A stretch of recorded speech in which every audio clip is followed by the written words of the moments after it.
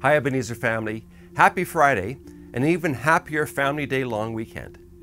Now, I don't know if you know this, but this is the holiday our Saskatchewan government put in place in 2007 to celebrate the importance of families and family life.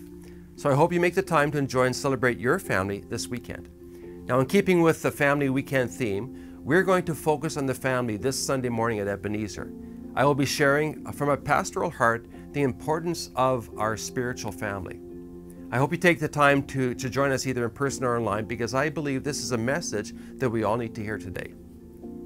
For families with young children, we will be offering Kids Zone in both services, but there will be no rush this long weekend. However, we do have a special children's feature in the service for your kids to enjoy. So looking forward to seeing you there. So when you come this weekend, make sure you stop by and, and check out our journey wall in the hallway across from the chapel. Uh, it's beginning to fill up, which is great. And remember, we want as many people as possible to submit a memory, and those Journey Wall forms can be found on our website or they can be picked up in person from the church office. New moms, uh, this announcement is for you. Just want to encourage you to check out our Moms Friendship Group on Thursdays at 10 a.m.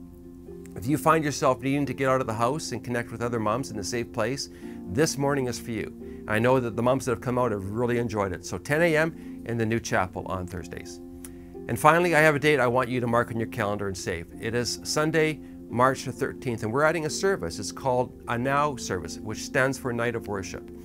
Over the last while, we've increasingly sensed the need to devote uh, ourselves to worship and prayer. And this will be our first of hopefully a monthly night of worship for our church family. So I hope that you join us for that and mark that on your calendar.